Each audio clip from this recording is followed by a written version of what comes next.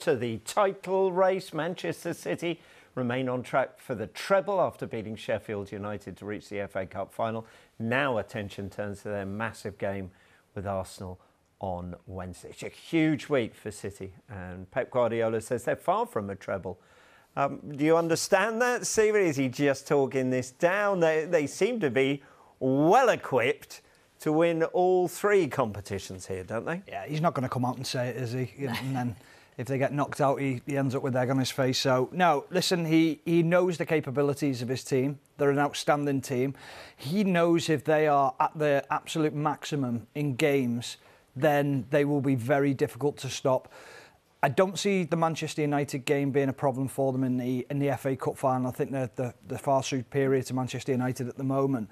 The the issue is the Real Madrid game. Over two two legs is where does that leave them? I think it suits them going to Real Madrid first and then going back to the Etihad because if, if you can go to the Bernabeu and get a draw or get yourself a goal ahead, then going back to the Etihad will be very difficult for Real Madrid. I think the big question is, is can they keep the players fit? Can they keep Haaland on the pitch? Can they keep De Bruyne on the pitch? I think we, was it very interesting to see De Bruyne start the game at the weekend. I thought he would have wrapped him up in cotton wool and just kept him for the title running and the, and the Champions League. But that shows you his commitment to every yeah. single competition. I was the same. I wondered if, if Pep Guardiola would maybe make some some changes. And when you look at the, the starting lineup, I know Ortega was was in goal, wasn't he? Yeah. Um, instead of Ederson, but it was it was pretty strong with Haaland, Grealish, De Bruyne, yeah. um, Mahrez, like you say. But it, he clearly wants all three trophies, and they just look so ruthless at the moment, don't they? That they they are desperate to get all three, and certainly capable. But it is a case of trying to make sure that everybody's fit and available. Is it yeah. a case of you put your strong team out, you win the game, then you take them off and, mm. and rest them? I, I think this is the best team I've I've watched in my time as a as a a football fan, as a, a pundit, as a player. I think this is the best team I've seen. And I look at the Barcelona team, that was brilliant. But I just think there's something about this team. Definitely, def, definitely best English team yeah. that we that I've seen. I mean, they are phenomenal to watch. You just watch them and they're mesmerised, and you think, how do you stop them?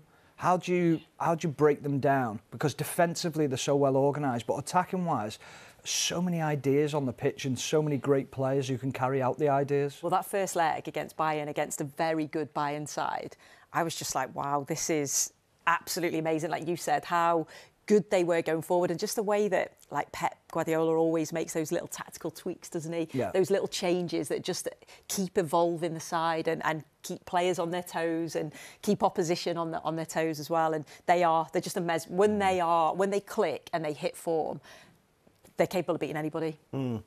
Yeah, the last Champions League final they reached didn't quite work out. One of those little tweaks, did yeah. it? But, uh, I, I, know what you mean. Yeah. Um, so through to the semi-finals of the Champions League, the FA Cup final, and we know next it, it is Arsenal um, at the Etihad as they look to take control of the title race. As you can see, they, they, they've they've got more games to play, and then you've got to throw in the, the, the two legs of, of the semi-final uh, uh, against Real Madrid.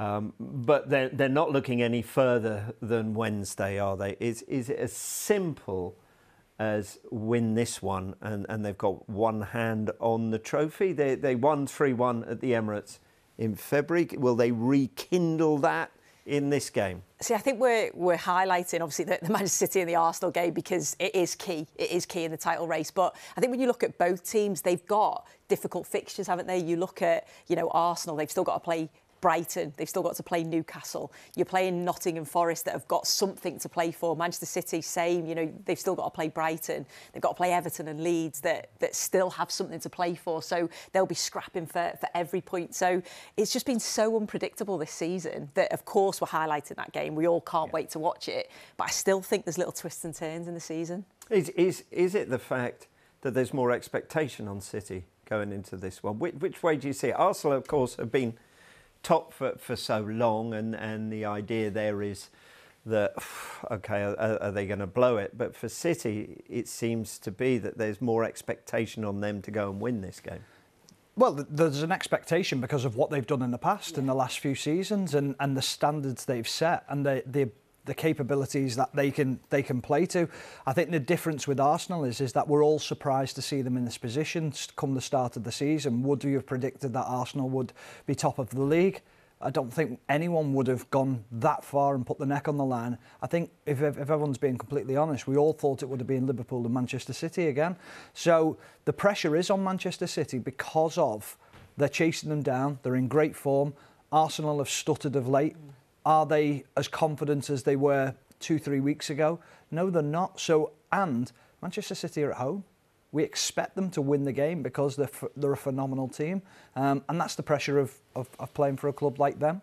Okay, we're going to play a game again because I, I, like I like the game, and, and, and all you have to me, say. I need me board. Yeah, Yeah, all you have to do. say is success or failure. Okay, Ooh. are you ready?